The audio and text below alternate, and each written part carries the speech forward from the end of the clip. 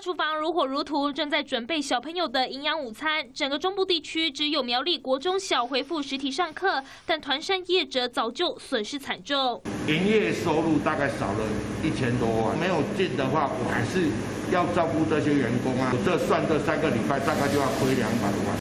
教育部准备三亿预算，要抢救团膳业者补贴食材成本，但不补助从业人员，业者抱怨员工薪水也要照付。我嘛是在做上班，你问自己在有家庭，你家叫伊看休就休，对啊，你个你个食土。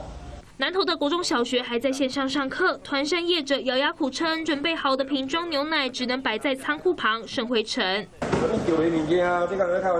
食材堆在冰箱，根本无法出货，冷冻生鲜就算了，但叶菜类水果放到下礼拜就要全部报废。因为临时又停课，所以说变成包装好的东西哦就放着，反而是正职人员的部分，他有补助到业者，好，所以说我们会希望说在部分公司人员的部分能够列入。补助北水车薪，业者还必须在四天前提出申请，但县市政府都会在一周前公布延长线上上课，补助根本是看得到吃不到。暑假又快到了，团扇业者等不到改善，只有无尽的疫情寒冬。借中部综合报道。